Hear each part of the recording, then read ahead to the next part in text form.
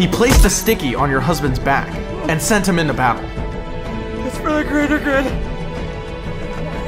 You've got to be kidding me. It was for the greater good, ma'am. It was low key, Poggers.